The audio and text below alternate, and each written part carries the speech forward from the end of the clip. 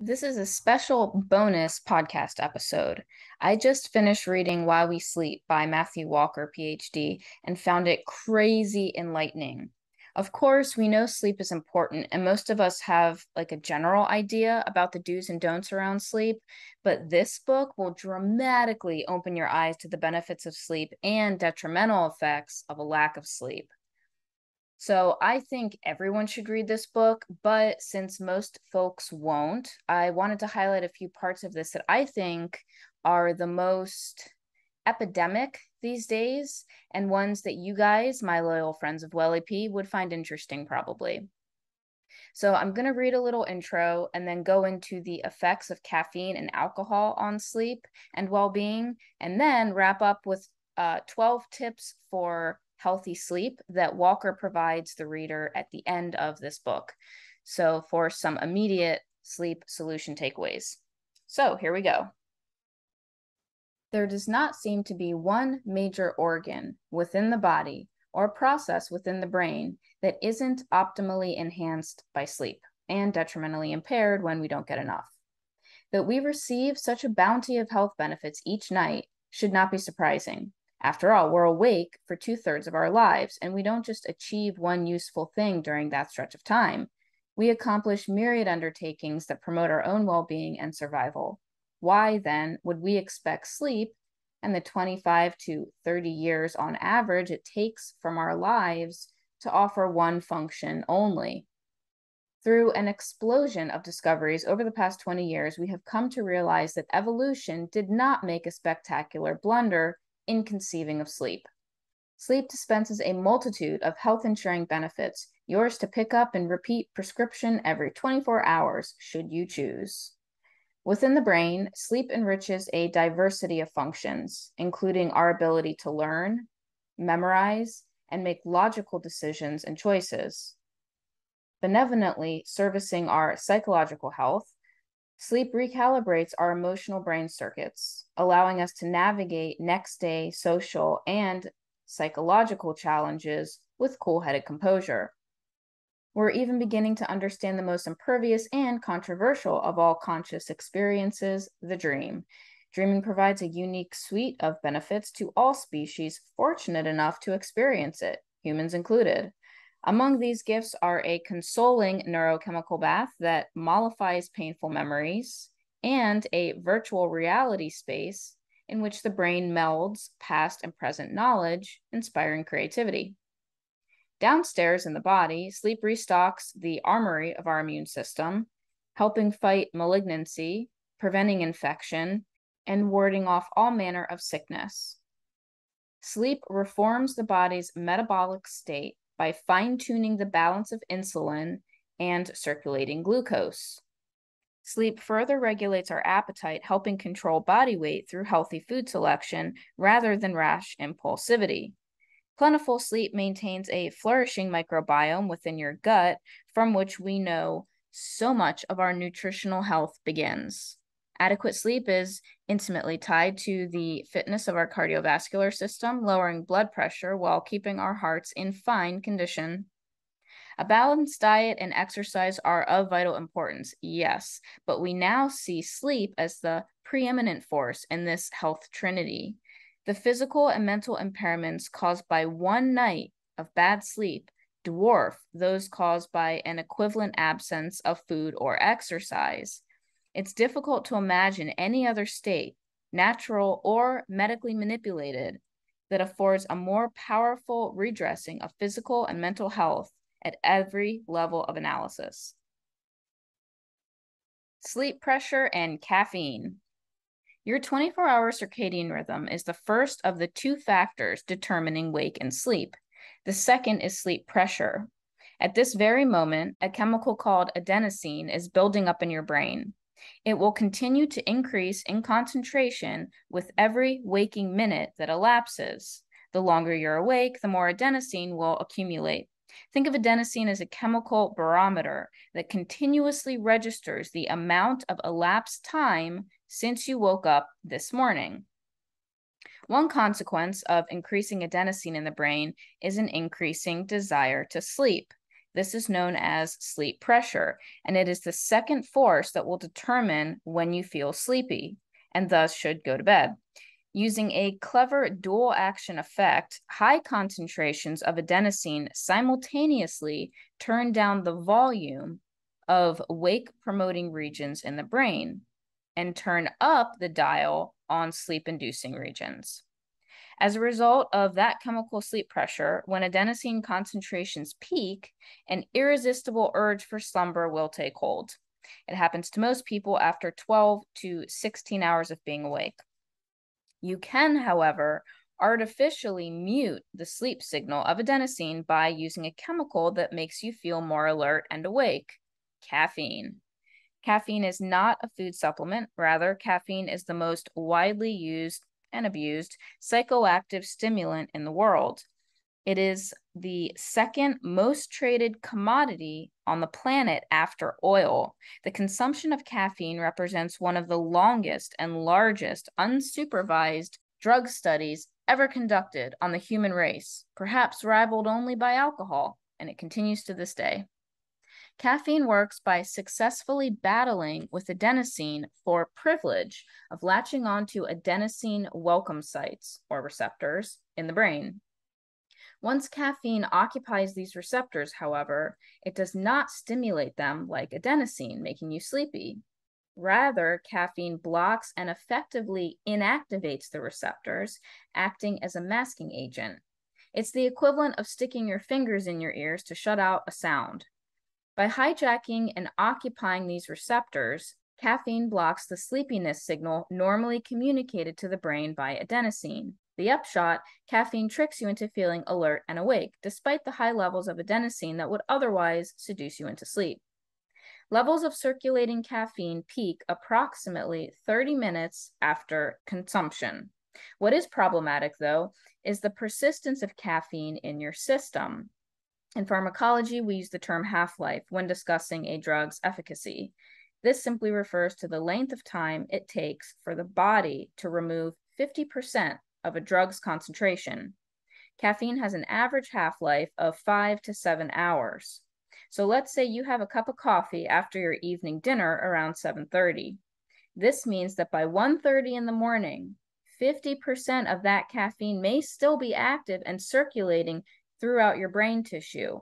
In other words, by 1:30 in the morning, you're only halfway to completing the job of cleansing your brain of the caffeine you drink after dinner.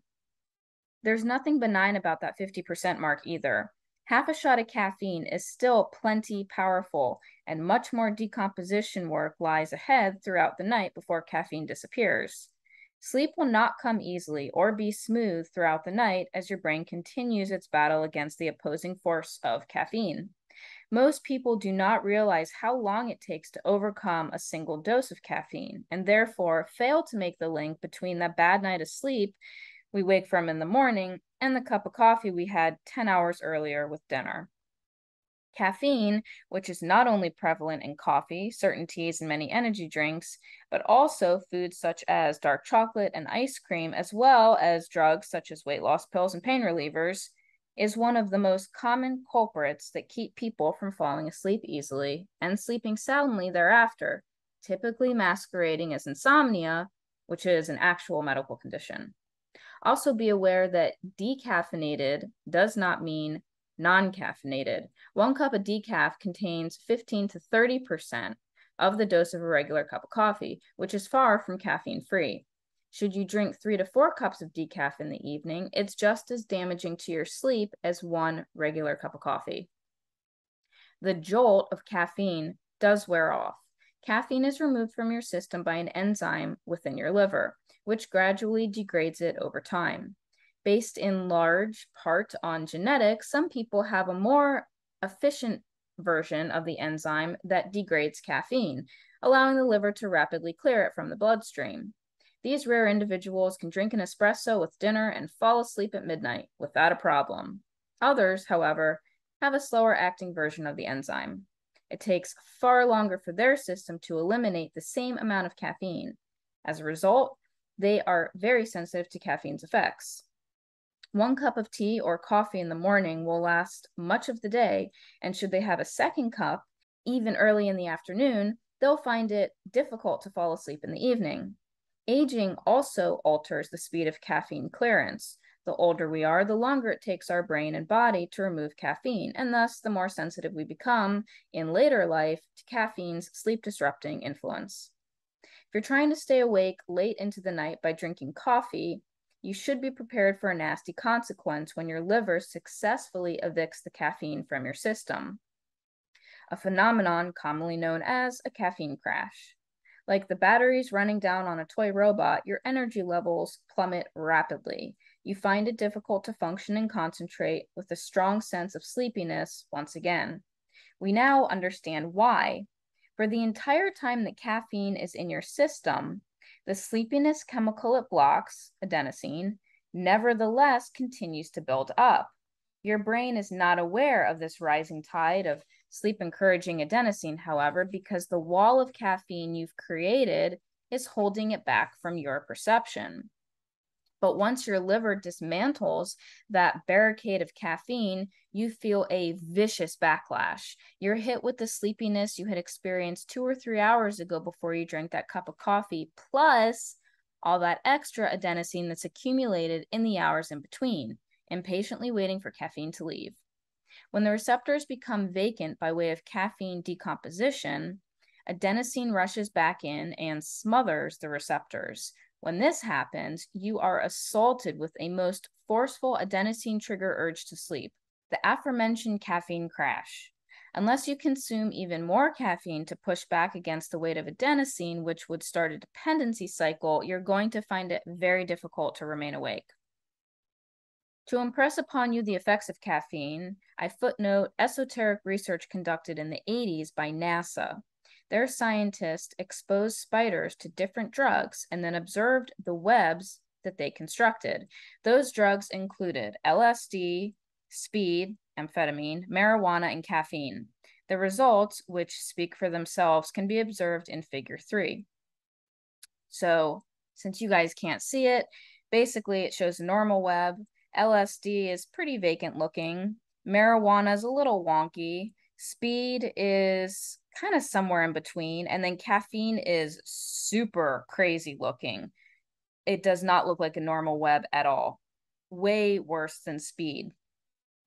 So the researchers noted how strikingly incapable the spiders were in constructing anything resembling a normal or even logical web that would be of any functional use when given caffeine, even relative to the other potent drugs tested.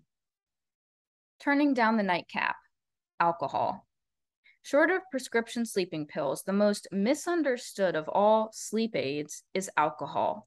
Many individuals believe alcohol helps them to fall asleep more easily or even offers sounder sleep throughout the night. Both are untrue. Alcohol is in a class of drugs called sedatives. It binds to receptors within the brain that prevents neurons from firing their electrical impulses. Saying that alcohol is a sedative often confuses people as alcohol in moderate doses helps individuals liven up and become more social. How can a sedative enliven you? The answer comes down to the fact that your increased sociability is caused by sedation of one part of your brain, the prefrontal cortex, early in the timeline of alcohol's creeping effects.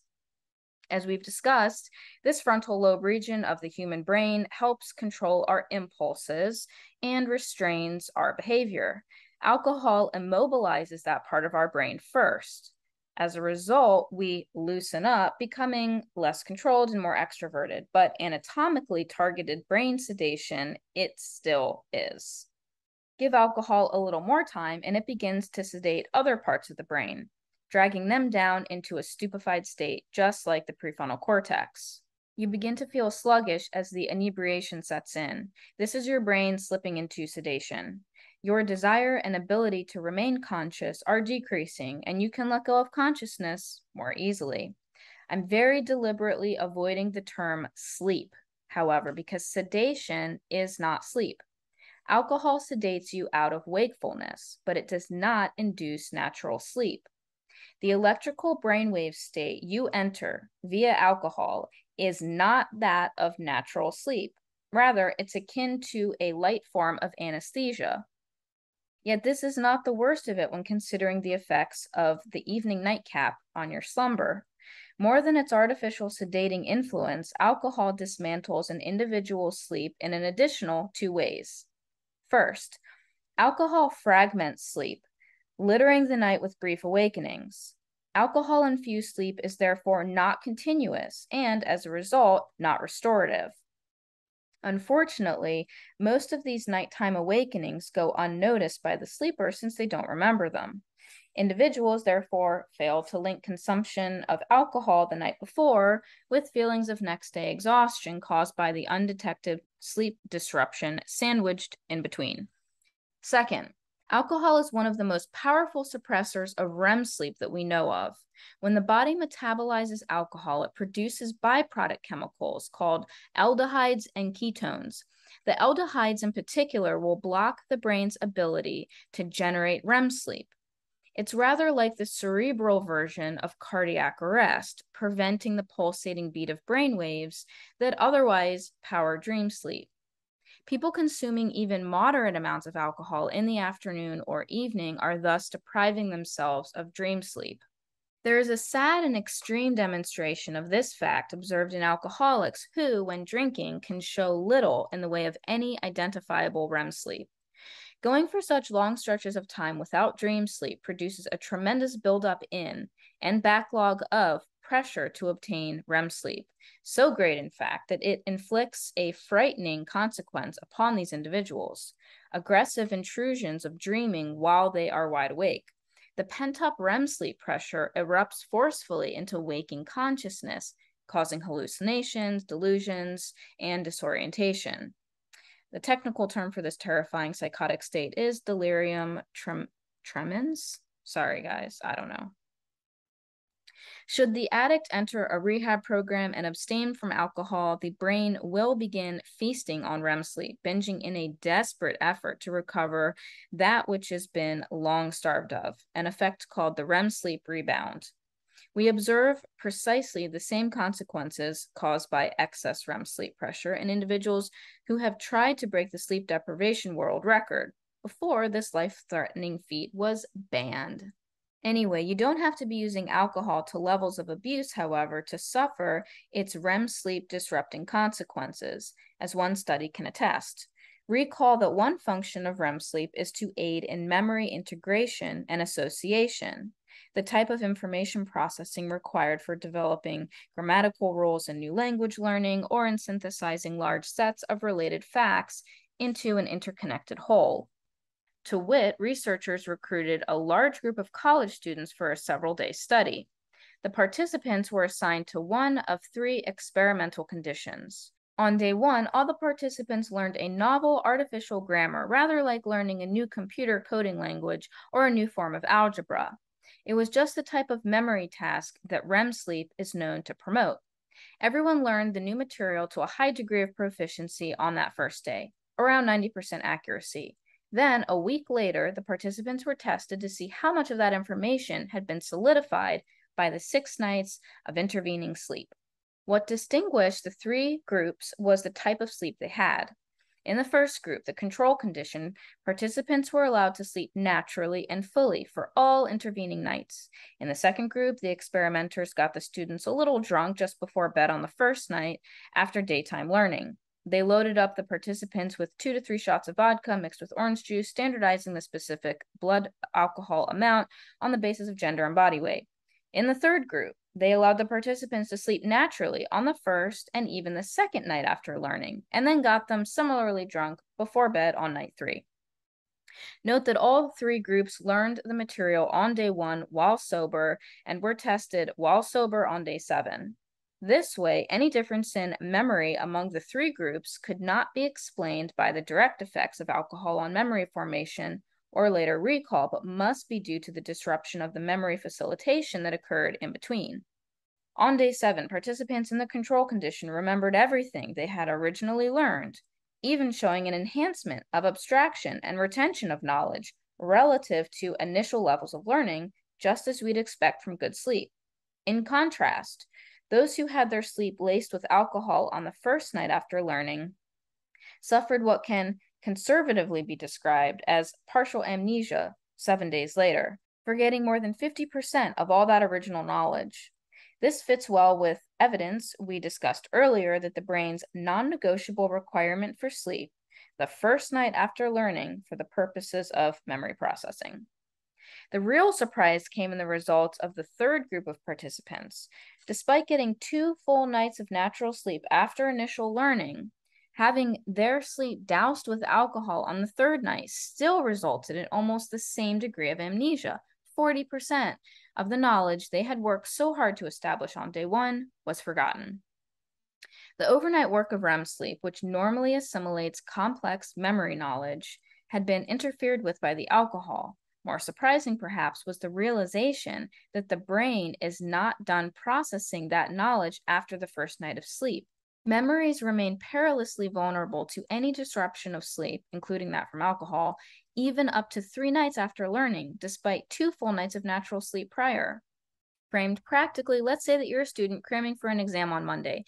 Diligently, you study all the previous Wednesday. Your friends beckon you to come out that night for drinks, but you know how important sleep is, so you decline. On Thursday, friends again, they ask you to grab a few drinks in the evening, but to be safe, you turn them down and sleep soundly a second night. Finally, Friday rolls around, now three nights after your learning session. Everyone's heading out for a party. Surely, after being so dedicated to slumber across the first two nights after learning, you can now cut loose, knowing that those memories have been safely and securely and fully processed within your memory banks. Sadly, not so. Even now, alcohol consumption will wash away much of that which you learned and can abstract by blocking your REM sleep. How long is it before those new memories are finally safe? We actually don't know. However, we have studies underway that may span weeks. What we do know is that sleep has not finished tending to those newly planted memories by night three. I elicit audible groans when I present these findings to my undergrads in lectures. The politically incorrect advice I would, of course, never give is this go to the pub for a drink in the morning. That way, the alcohol will be out of your system before sleep. Glib advice aside, what is the recommendation when it comes to sleep and alcohol?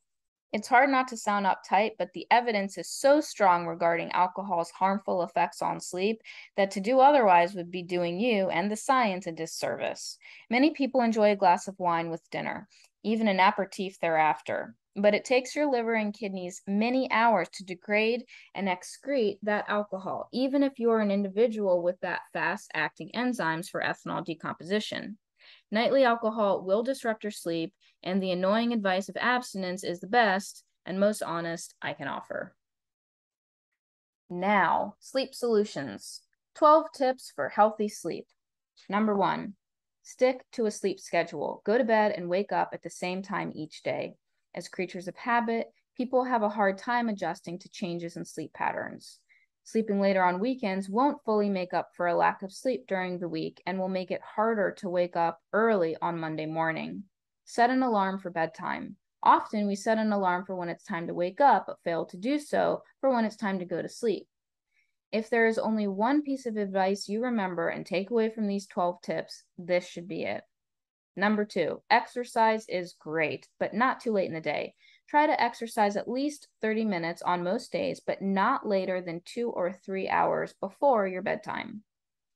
Number three, avoid caffeine and nicotine.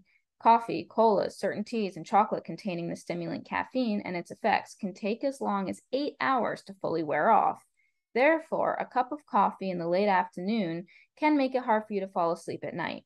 Nicotine is also a stimulant, often causing smokers to sleep only very lightly. In addition, smokers often wake up too early in the morning because of nicotine withdrawal. Number four, avoid alcoholic drinks before bed. Having a nightcap or alcoholic beverage before sleep may help you relax, but heavy use robs you of REM sleep, keeping you in the lighter sleep stages. Heavy alcohol ingestion may also contribute to impairment in breathing at night. You also tend to wake up in the middle of the night when the effects of the alcohol have worn off. Number five, Avoid large meals and beverages late at night. A light snack is okay, but a large meal can cause indigestion, which interferes with sleep. Drinking too many fluids at night can cause frequent awakenings to go to the bathroom. Number six, if possible, avoid medicines that delay or disrupt your sleep. Some commonly prescribed heart, blood pressure, or asthma medications, as well as some over the counter and herbal remedies for coughs, colds, or allergies, can disrupt sleep patterns. If you have trouble sleeping, talk to your healthcare provider or pharmacist to see whether any drugs you're taking might be contributing to your insomnia and ask whether they can be taken at other times during the day or early in the evening. Number seven, don't take naps after 3 p.m. Naps can help make up for lost sleep, but late afternoon naps can make it harder to fall asleep at night. Number eight, relax before bed. Don't overschedule your day so that no time is left for unwinding. A relaxing activity, such as reading or listening to music, could be part of your bedtime ritual, as well as gentle stretching or yoga, which is an add on by me. Number nine, take a hot bath before bed. The drop in body temperature, often getting out of the bath, may help you feel sleepy, and the bath can help you relax and slow down so you're more ready to sleep. Number 10, dark room, cool bedroom, gadget free bedroom. Get rid of anything in your bedroom that might distract you from sleep, such as noises, bright lights, an uncomfortable bed, or warmer temperatures. You sleep better if the temperature in the room is kept on the cool side. A TV, cell phone, or a computer in the bedroom can be a distraction and deprive you of needed sleep. Having a comfortable mattress and pillow can help promote a good night's sleep. Individuals who have insomnia often watch the clock. Turn the clock's face out of view so you don't worry about the time while trying to fall asleep. Number 11, have the right sunlight exposure. Daylight is key to regulating daily sleep patterns. Try to get outside in natural sunlight for at least 30 minutes each day. If possible, wake up with the sun or use very bright lights in the morning. Sleep experts recommend that if you have problems falling asleep, you should get an hour of exposure to morning sunlight and turn down the lights before bedtime. Again, this is another add on by me. Speaking of turning the lights down before bedtime, LED lights, all the blue light, we know that's bad. So either, I don't know, use candles or get a pair of blue block uh, sunglasses with like the orange lens that block out the blue rays. And that makes a huge difference as well. Lastly, number 12, don't lie in bed awake. If you find yourself still awake after staying in bed for more than 20 minutes, or if you're starting to feel anxious or worried, Get up and do something relaxing until you feel sleepy. The anxiety of not being able to sleep can make it harder to fall asleep.